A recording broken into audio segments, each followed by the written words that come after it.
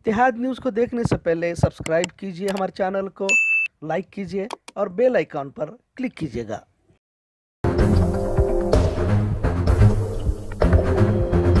अस्सलाम वालेकुम रहमतुल्लाहि व बरकातहू इतिहाद न्यूज़ में आप सभी का खैर मकदम है। Allama Iqbal Shaheen club of India के ज़ेर एहतमाम होटल नियाज के बैंकेट हॉल में जनाब मुश्ताक हुसैन फारूकी की जानब से अल्लामा इकबाल की नज़म तलखीस, बनाम शिकवा और जवाब शिकवा का रस्म इजरा किया गया। इस प्रोग्राम में मेहमान खसूसी के तौर पर मोहतरमा महर अफरोज़ काटेवड़ी कर्नाटक के S R P commandant Hamza Hussain Dakhni, Mubashar Farooqui और दीगर मेहमानों को मधु किया गया था। रस्म इजरा की सदारत मारूफ शाहर और मुदर्रिस जनाब मोहम्मद यासिन राही ने की। इस मौके पर मोहतरमा महर अफरोज़ ने अल्लामा इकबाल की हयात और शायरी पर रोशनी डाली। जनाब हमजा हुसैन दखनी ने मेहर अफरोज़ काठेवाड़ी के बयान से काफ़ी मुतासर होते हुए कहा कि मोहतरमा मेहर अफरोज़ ने अलामा इकबाल के बारे में जो बताया, इसके बाद अलामा इकबाल से मोहब्बत और बढ़ गई है।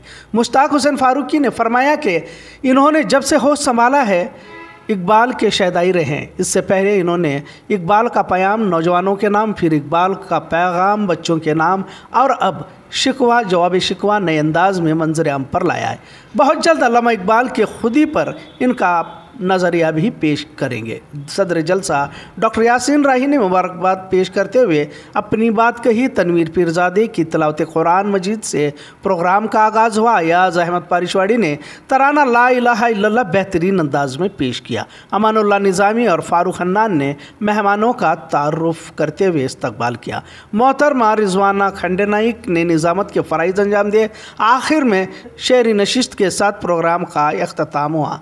दिगर मेहमानों में शरीफ मोकाशी और हैदर अली जमादार गफूर घी वाले मौजूद रहे। इतिहाद न्यूज़ देखने के लिए शुक्रिया। अल्लाह हाफिज़। क्या बोल रहे हैं? आई बहुत अच्छा हूँ। मेरा अल्लाह ही बुरा इसलिए मैं अल्लाह से शिकवा कर रहा हूँ। शिकवा लिखी उन्नीस सौ किससे शिकवा कर रहा है बंदा? अल्लाह से। एक सबक दे रहे हैं उसके अंदर। बंदे, अल्लाह से। सफ़र के वजीफों से लगा हुआ बंदा अब तक बादशाही चमचागिरी में लगा। हुआ बंदा अब तक नवाबों की पैर दबाने का काम कर रहा था। अल्लामा इकबाल ने फरमाया छोड़ सबके पैर। शिकवा किससे कर? शिकवे से अल्लामा इकबाल ने ये काम किया कि बंदे का ताल्लुक अल्लाह से जोड़ने की कोशिश। ये असल पैगाम है शिकवे ये ये ये पहला काम जो अल्लामा इकबाल की बसीरत ने किया कि बंदे को सौ सजदा गाहों से निकाल कर एक सजदा का एक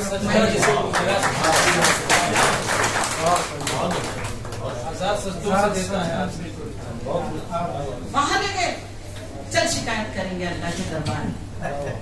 लेकिन सब हमारे जैसे बेवकूफ़ थे, नहीं पढ़ने वाले वहाँ बैठे हुए फ़ौरन आया मौलाना लोगों का कुफर का फतवा। अल्लामा इकबाल, कुछ नहीं छोड़ी कौम, हम ना छोड़ती। मुझे छोड़ती, शरीफ को छोड़ती, यासीन सर को छोड़ती, फारूक सर को छोड़ेंगे, नहीं छोड़ती। फतवा आया कुफर का। बेअदबी करे अल्लाह की शान में। इंसाना बहुत अच्छे कर को बोले। कितने फतवे है दारुल फतावा से फतवा लगे आपको प्रेशर आ गया, अल्लामा इकबाल के वालिद ज़िंदा थे, अल्लामा इकबाल के भाई ज़िंदा थे। सब लोग लानत मलामत करने लगे।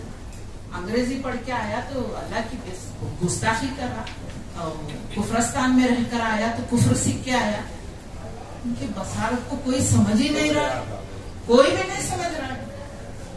बैठे डिप्रेशन में चले गया ना छह महीने के ये बाकायदा उनकी सवाल हयात के अंदर मौजूद है बाकायदा उनका वो जो नौकर है वो वो कहता है कि हाँ अल्लाह डिप्रेशन में खाना पीना छोड़ दिया था और बस एक लुंगी पकड़े हुए मैंने क्या कर दिया मैंने क्या कर दिया रोते रहते रोते रहते रोते रहते थे उसी वक्त वो ख्वाब हुआ जहाँ अल्लाह ने देखा कि वो बैतुल मुकद्दस में है जहाँ पर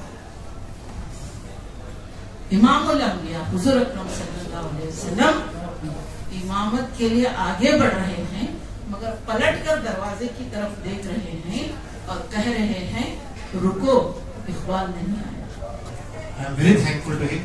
मैं उनका शुक्रगुजार हूँ, आप उन्होंने मुझे बुलाया और यहाँ पे आप सबसे को मिलने का और सुनने का मौका अदा किया। Sunday after heavy lunch.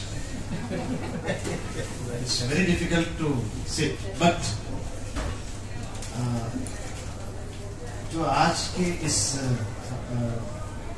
Stage के फ़ंक्शन में जो बातें निकली जो डिस्कशंस हुए शायद हम सब की नींद उड़ जानी चाहिए। सही कहा सही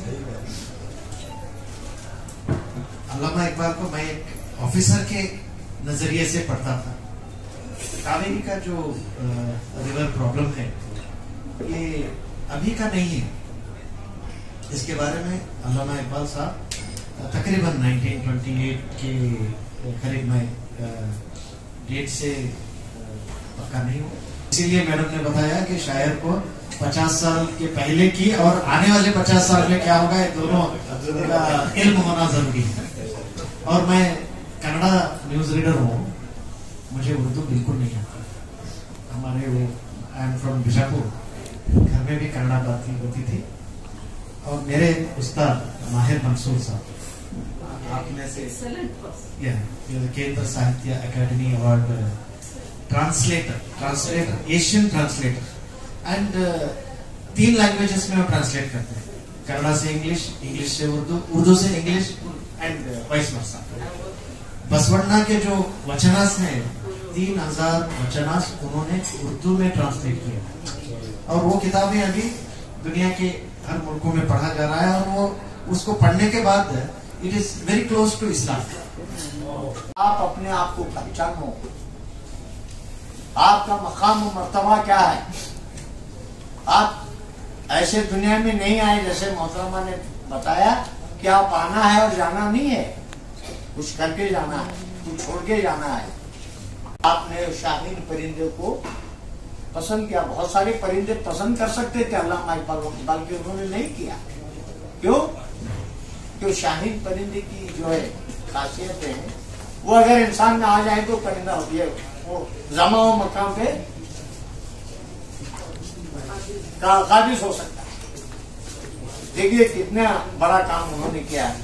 अस्सलाम वालेकुम रहमतुल्लाहि मैं ये कहना पसंद करूँगा कि बेलगाम छोटा नहीं है। अदब के एतबार से बेलगाम बहुत बड़ा है। बहुत बड़ा है। इन्होंने तर्जमा किया है उसका। न सिर्फ़ तर्जमा किया है बल्कि मुश्किल अल्फाज को भी नीचे उन्होंने मुश्ताक हुसैन फारूकी साहब की खिदमत में कलमबंद किए हैं। उन किताब को या उस नज्म को मैं आप लोगों के सामने रखते हुए अपनी बात को खत्म किए देता हूँ। तौसीफी कलाम बखिदमत अलहाज मुश्ताक हुसैन फारूकी साहब बमौका रस्म इजरा शिकवा जवाब शिकवा एक नए अंदाज में।